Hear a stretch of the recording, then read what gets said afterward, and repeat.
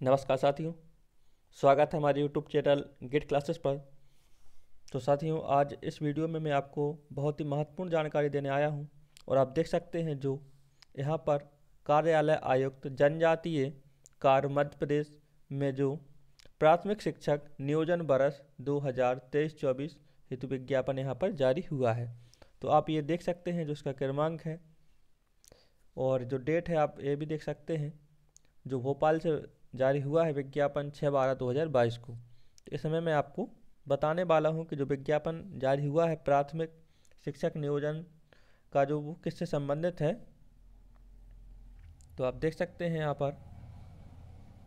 Professional examination board Madhya Pradesh Bhopal के द्वारा आयोजित प्राथमिक शिक्षक पात्रता परीक्षा 2020 के अह पाए गए अभ्यर्थियों से जनजातीय कार्य विभाग के अंतर्गत बरस 2022-23 एवं 23-24 में लोक सेवकों के सेवानिवृत्त, जो रिटायरमेंट होने वाले हैं, होने से उद्भूत होने वाले रिक्तों की पूर्ति की जानी है।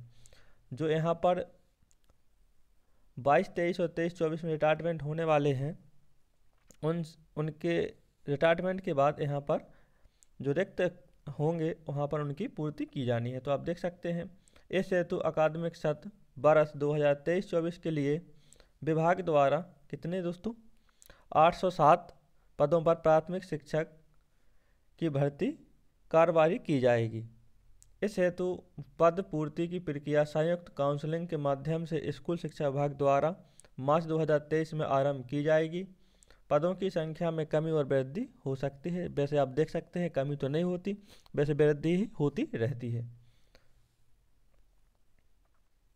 यहाँ पर मध्य प्रदेश जनजातीय एवं अनुसूचित जाति शिक्षण संभाग सेवा एवं भर्ती नियम 2018 और इन नियमों में समय समय पर किए गए संशोधनों के अनुसरण में इस विज्ञापन की दिनांक को पिछले नियमों के अधीन प्राथमिक शिक्षक, शिक्षकों के रिक्त पदों की पूर्ति की प्रक्रिया प्राथमिक शिक्षक पात्रता वर्ष 2020 की मेरिट के आधार पर प्रारंभ की जाएगी।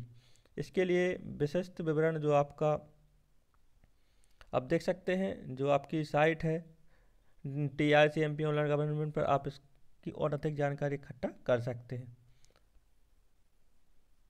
वैसे यहाँ पर विज्ञापन जो 26 ग्यारह 2022 में दी गई तिथि से उपलब्ध रहेगा। विज्ञापन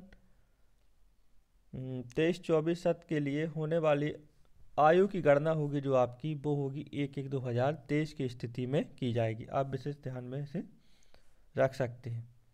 तो ये आपका जो तेईस चौबीस में भर्ती होने वाली है इससे संबंधित ये नोटिफिकेशन आपके सामने रहा। तो जल्द ही वैकेंसी आएगी आपके फॉर्म भी फिल हो, होंगे और आपकी गणना जो एक एक दो हज़ार तेईस में आपको इक्कीस वर्ष होना अनिवार्य यहाँ पर होने वाला है। थैंक यू फॉर वॉचिंग और अभी तक आपने हमारे यूट्यूब चैनल को सब्सक्राइब नहीं किया तो कर दीजिए ताकि ऐसी नोटिफिकेशन आपको सबसे पहले मिल सके।